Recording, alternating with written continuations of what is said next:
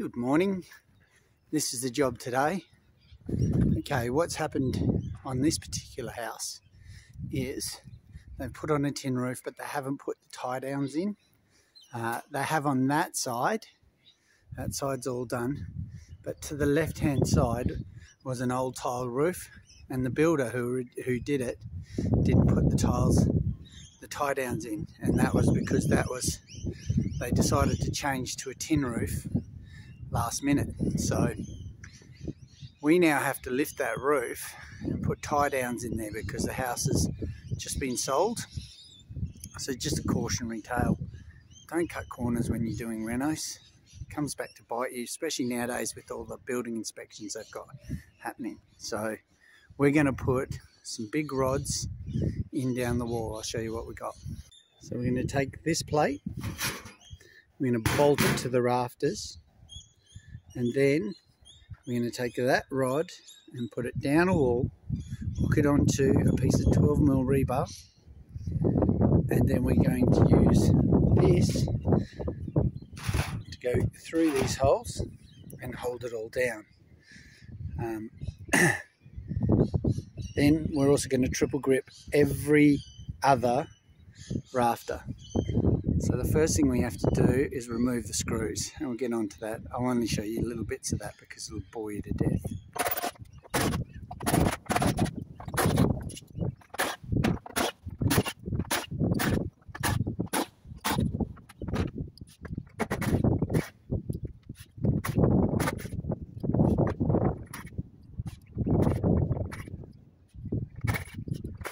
See that dirty patch on the roof there? Uh, and there's one out the front as well. That was all solar panels. So to give you an idea what kind of a mistake this was not tying it down, the owner has had to have all those solar panels removed so I can get access under the sheets to do the tie downs. I've left screws in the top and the second from top row. Um, the main idea behind that is look, I've got to get in down here. So now I can lift and get at it. So that's the whole plan. Now when you take out screws, if you have a look at that one, see there's two screws there. One that has a washer and one that doesn't have a washer. I can reuse the one with the washer, so when you take them out, try and take them out with the washer. Sometimes they split and you lose the washer. That one there will have to be turfed and I'll have to replace that with a new screw.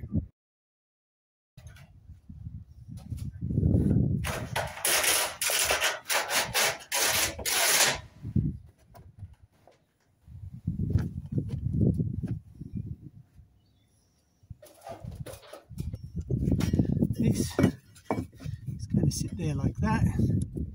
The rod will come from the bottom up and through there and then we'll screw and put him in with a nut and bolt.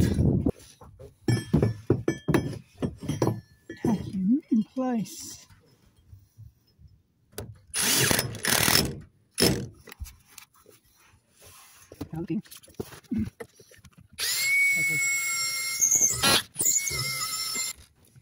Now, this, I'll show you afterwards, is actually right next to a ceiling joist.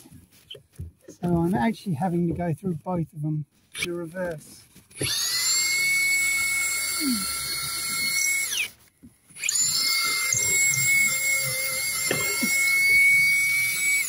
Okay. Oops. Get you back up. Okay, so we've got the 100 mil bolts.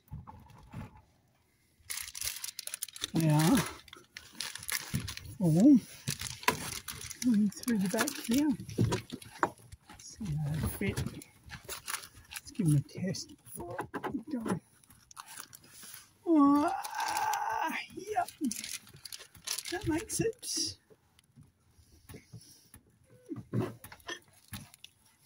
Yep, that makes it.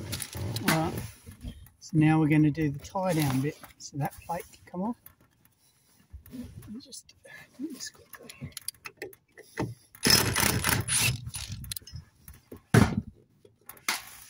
Okay, take the plate off quickly. I just pre-drill those because really it sucks once you get going and you have to do it. Alright, now I'm going to show you what we do. So, just to give you an idea of where you get your measurements from, that's the back of your wall down to your eave, okay? We're talking 290, so 300, we'll just round it to 300. Okay. So these have to be 1200 down from the top, according to the engineer. So we know we've got 300 of brick there. That means it has to be at least 900 down. Now, checking this, this is 1400 long. So it gives us a little bit of play at the top. So if we make that just a minimum 900, okay, that'll make it 1300, give us 100 at the top. But I'm going to make it 950 because I don't really want to have to cut off the top. Now how I mark where it is, see this one hanging down? That's bang on the purlin, so I want it to come right to there. Okay, 950. And now I'm going to drill a hole through there. And we'll put a rod through there and then we're going to catch it with this hook here. That's how we're going to do it. So, watch. Just go boom.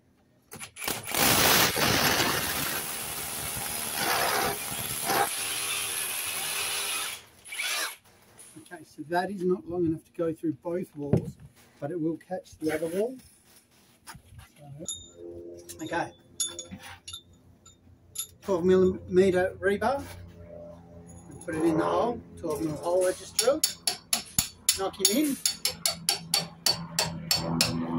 That's now going in the other brick. Once it gets flat, grab yourself another piece of 12 mil rebar. Knock him in, in about 10, 20 mil. So once we hook that, see both bricks and we'll patch that at the end, give it a little paint, you won't even notice it. Alright, now for the fun bit, and I don't really know how to show you this. We're about to go fishing. Here we go. We know it's directed down there. It's actually a pain in the butt because I've got all sorts of things there. Now, if I measured it correctly,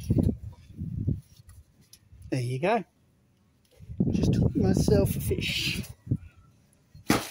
take this, to put that over there, like so.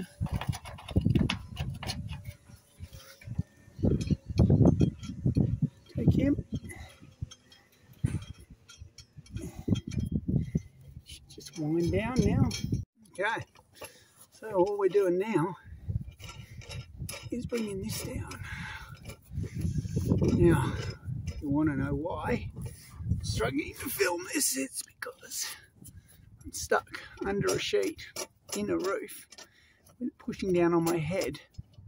I'm trying to do all this stuff up while trying to film this so you guys know what to do. So, yeah, better subscribe because this is killing me. Anyway, bit of fun. What can I say? Uh, Okay. Loving it. Okay. So, alright, that's just finger tight. And the reason that is, is because I don't want it to come off the rebar. It's nice caught on the rebar. And that's done. Okay, so what I'll do now,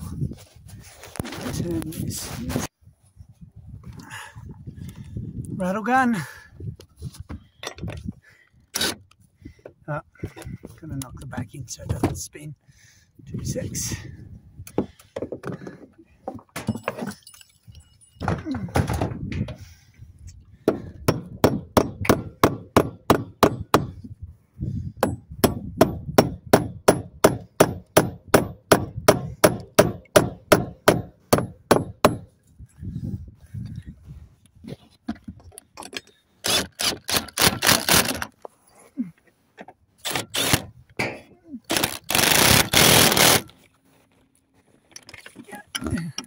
So tightened with the rattle gun. In the back, it's those bolts because I find you just give them a hit in and they don't spin. Um, makes life a lot easier.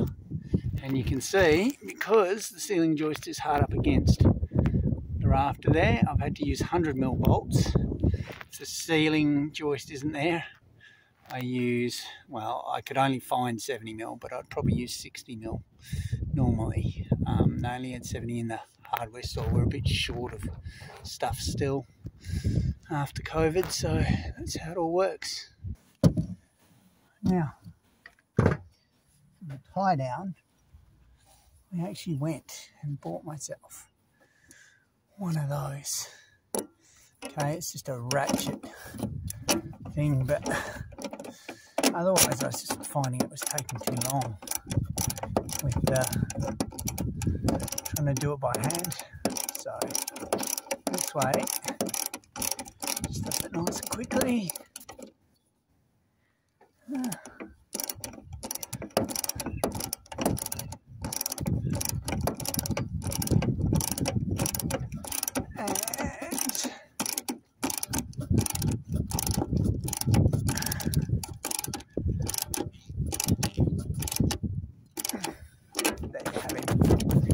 Nice and tight. It doesn't have to be tight too much. It's to stop the lift. It's not to,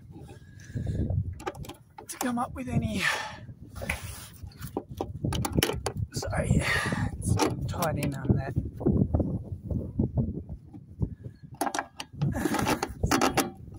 Just getting him off. Then we go with the second. All right.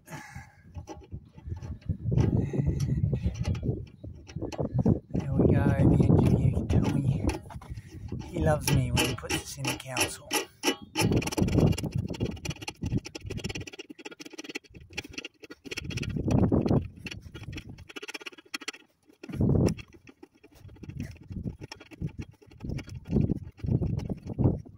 Now, if I'm any half decent editor, you've just watched that at like 700 times the normal speed of the world. Um, okay, so I'll run through a few things with you uh, the engineer specified that the plate that I'm now tight, um, tightening onto is 6 mil. And so that's what we have. We have it at 6 mil. The rod is standard. You get it at the hardware store. The rebar through the wall is 12 mil. And these screws are M8.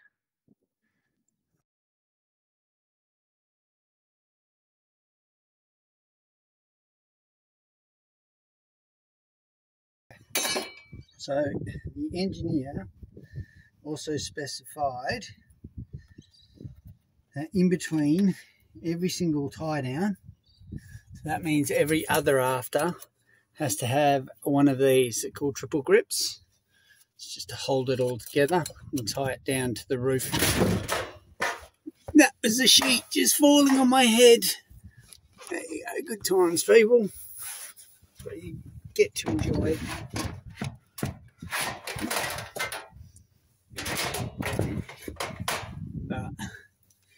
back up.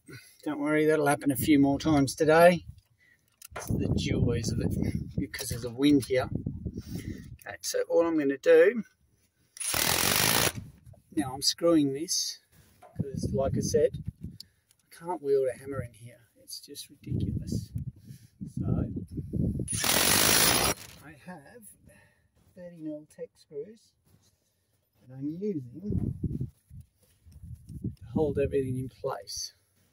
And you'll see when I put on the plate, I tack it in place first and then I pull it out. The other thing is, as time goes on, this wood gets so hard, and I'm not talking so much about the, the pine, but this karri, or just turns into rock. You can't get you can't get anything into it without pre-drilling it. So you may as well just drill it in to start. um, it certainly does make life interesting.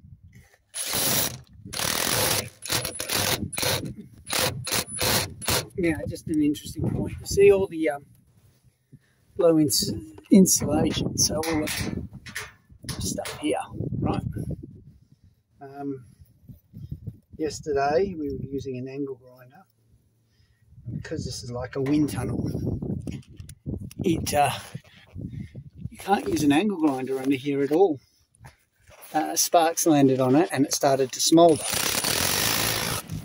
It took me a good half an hour to put it out, and then there was a residual smell of smoke, which was freaking the owner out, which is fair enough because it was freaking me out as well. So be aware of that. You've got low in insulation, and the problem is it's gone everywhere. So it's also on the um, it's also fallen down and gone onto the eaves. But that's not the problem. The problem is if the if the insulation on the plasterboard catches starts to smoulder. You can't put it out with water because water destroys plasterboard. So we had to pull it out and then anything up there we had to put out with our hands. And then anything that uh, anything else we had to put a little bit of water on it as long as there wasn't any electrics there. So it's certainly uh, just be careful when you're grinding and this stuff is around. All right, there you go. There's your triple grip. Four here, four there, two there. All right, finally we're all done and the house is all done. So if you come for a walk with me, you'll see. Okay, see that there? That's all you're left with. That's all you know that there's a tie down. Okay, so you've got a rod and bolt which go up there, hook into that roof, making sure it doesn't fly off and then if you come 1200 across you'll see there's another one which goes up and into that roof and is bolted on. Um, all the screws are back in everything's back in. Uh, I had to put in some new screws and as we move down this side you'll see obviously there's certain areas you can't get them in but we tried to go as close to the windows as possible to get them to hold in.